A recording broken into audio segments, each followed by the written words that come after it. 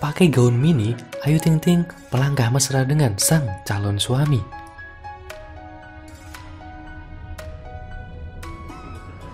Sebelum lanjut ke video, jangan lupa untuk subscribe dan juga nyalakan loncengnya supaya kalian terus mendapatkan notifikasi video terbaru tentang informasi-informasi artis yang kita update. Adit Yusman ramai menjadi pemberitaan setelah berhasil menikat Ayu Ting Ting sebagai kekasih. Kali pertama, publik mengetahui keberadaan seorang pria tampan dalam kehidupan Ayu Ting Ting itu adalah ketika ulang tahun sang ibunda. Pada foto ulang tahun Umi Kalsum Ibu Ayu Ting Ting, terlihat seorang pria turut berpose bersama keluarga besar pelantun Sambalado tersebut. Umi Kalsum bahkan pernah memberikan klarifikasi bahwa Adit memang sedang menjajaki hubungan asmara dengan Ayu Ting Ting.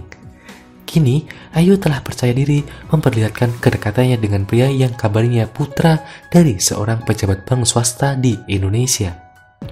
Pada hari Senin 12 Oktober, Ayu terlihat menggandeng tangan Adit usai syuting Brownies di Trans TV.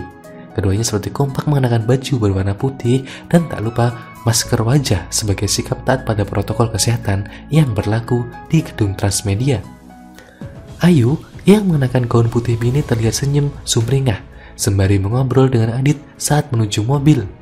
Pada sebuah wawancara, Umi Kalsum pernah mengutarakan bahwa Adit merupakan sosok menantu idaman.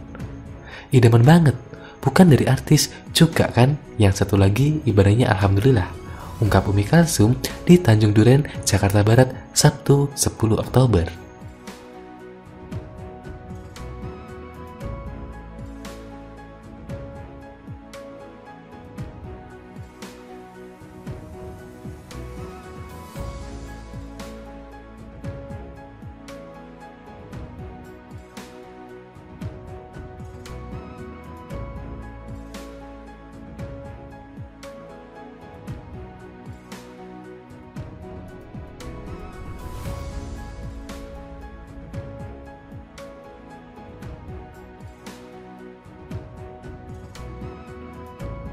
Terima kasih sudah menonton video ini.